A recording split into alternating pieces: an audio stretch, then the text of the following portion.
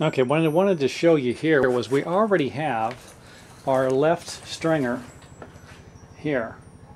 We need to cut this stringer and it's not going to be the same.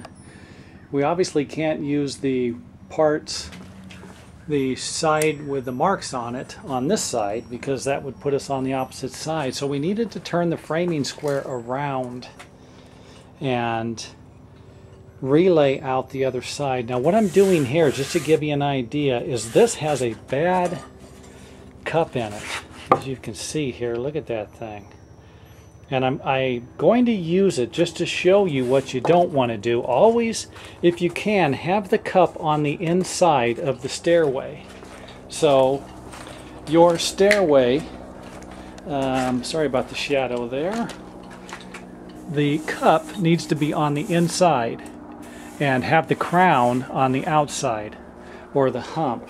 And that's going to make your stairs look a little bit better. And again when I'm done you'll see what I'm talking about but I just wanted to give you an idea um, of what I'm doing. And again I wanted to show you that I've reversed the layout on the other side here to give us our right stringer